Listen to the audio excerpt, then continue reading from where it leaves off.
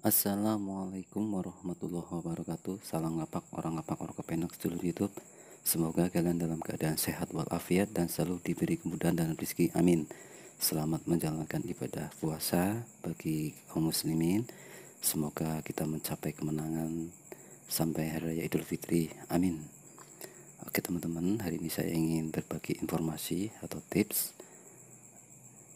Cara upgrade alternator ya teman-teman kenapa saya mengupgrade adalah untuk menstabilkan atau supply listrik di mobil saya teman-teman. Ini mobil saya juga Steam. Saya memakai alternatornya Honda Jazz teman-teman. Saya memakai yang 75 ampere. Ini akinya saya memakai yang standar 45 ampere karena bawaan alternator Suzuki Steam kalau nggak salah itu sekitar 35 ampere atau 40 ampere teman-teman. Jadi saya ingin memperbesar pengisiannya karena lebih baik di alternatornya daripada di akinya yang saya besarkan. Lebih baik di alternatornya yang saya besarkan teman-teman agar suplai kelistrikannya lebih stabil. Sehingga apabila kita mau memasang instalasi seperti salon, subwoofer atau kipas, fan kelistrikannya lebih stabil teman-teman dan ini alternator yang bawaan aslinya teman-teman. Ini kurang kalau nggak salah ini sekitar 35 ampere atau 40 ampere teman-teman standarnya. Ini su uh, sudah terpasang selama tiga bulan teman-teman dan saya ingin share atau berbagi informasi teman-teman. Semoga bermanfaat setelah pemakaian tiga selama tiga bulan tiga bulan ini alhamdulillah tidak ada kendala teman-teman. Saya pasang alternator yang 75 ampere kurang lebih 700 ribu teman-teman sudah termasuk pasang. Saya sarankan kalau teman-teman mau mengupgrade lakukan di bengkel sekalian teman-teman karena mereka lebih paham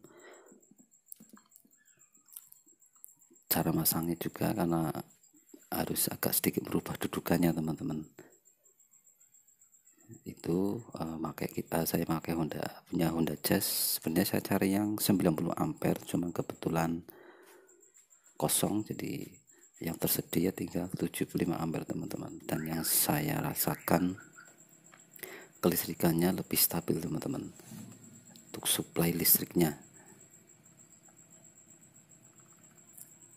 dan alhamdulillah selama tiga bulan ini tidak ada kendala sama sekali. Bahkan eh, kelistrikannya seperti lampu itu lebih terang teman-teman.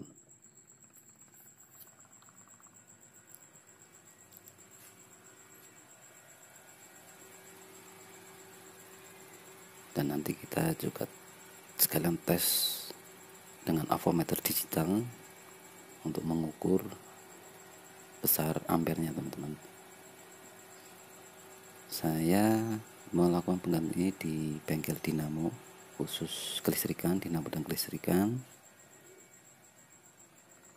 dengan harga saya dapat harga itu sekitar 700 ribu teman-teman. Kalau yang 90 ampere itu sekitar 800 sudah sama pasang. Dan ini di bengkel langganan jadi harus dilepas dinamo starternya sama tutup karburatornya teman-teman untuk mempermudah pemasangannya. Dan ini beberapa contoh alternator dan yang kebetulan yang bisa masuk itu punya Honda Jazz teman-teman. Karena yang 10 ampere kosong jadi saya terpaksa pakai yang 75 ampere teman-teman. Ini yang aslinya punya Steam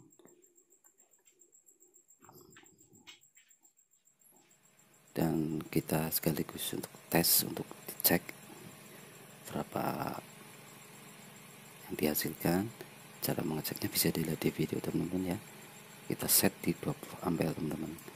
Bisa dilihat di video posisi off nya kalau menggunakan avometer digital dan disetting di 20 ampere teman-teman.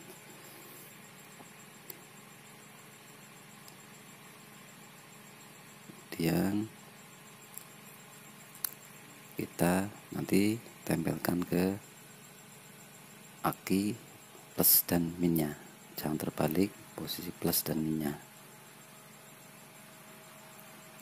ini kondisi tidak ada beban teman-teman. Kayak lampu AC belum saya nyalakan.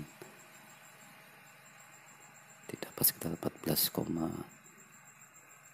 atau 75 ampere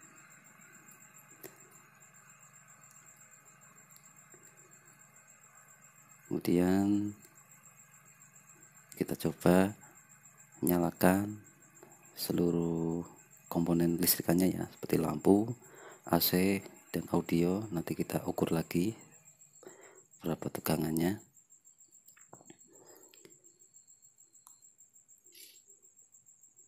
Ini saya nyalakan lampu AC dan audionya.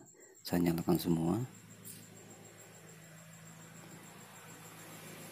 bisa dilihat ya semuanya nyala termasuk AC saya pakai dua kipas ya teman-teman ya. Totalnya tiga sama kipas radiator. Kita cek tegangannya. Ini beban nyala semua ya teman-teman ya.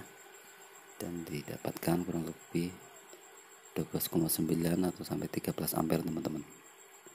Ini kondisi listrikan nyala semua teman-teman AC lampu audio kipas radiator menyala semua teman-teman. AC nya sudah sampai dingin di selangnya dan saya matikan. Saya matikan semuanya dan kita ukur lagi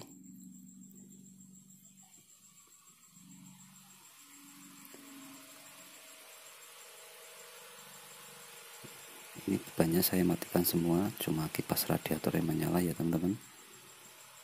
Kita ukur lagi. Sekitar 14 ampere teman-teman. Jadi yang saya rasakan kelistrikannya lebih stabil teman-teman. Dan lampunya juga lebih terang terasa lebih terang menurut saya. Karena suplainya saya besarkan daripada akinya yang saya besarkan lebih baik saya upgrade di alternatornya teman-teman agar suplai kelistrikannya lebih kaya teman-teman. Dan alhamdulillah tidak ada kendala sama sekali. Semoga informasi atau tips ini bermanfaat. Assalamualaikum warahmatullahi wabarakatuh